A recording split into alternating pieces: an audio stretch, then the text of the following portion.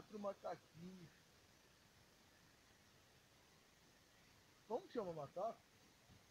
Qual o barulho que o macaco faz pra chamar ele?